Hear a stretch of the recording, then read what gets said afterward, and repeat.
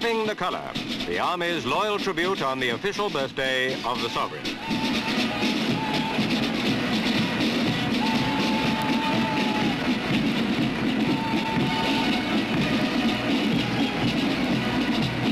In Germany, Britain's Army of the Rhine also staged a monster parade celebrating British Week in Osnabrück, an enterprise sponsored by the Board of Trade.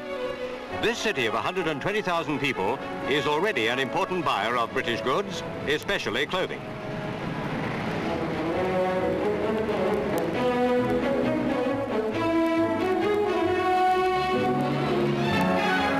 The Germans have had no monarch for nearly 50 years, but the appeal of uniforms is as strong as ever. So it was a sound idea to show some of our own during British Week. Meanwhile, a drum tattoo was performed in the stadium by a massed band to which five regiments contributed.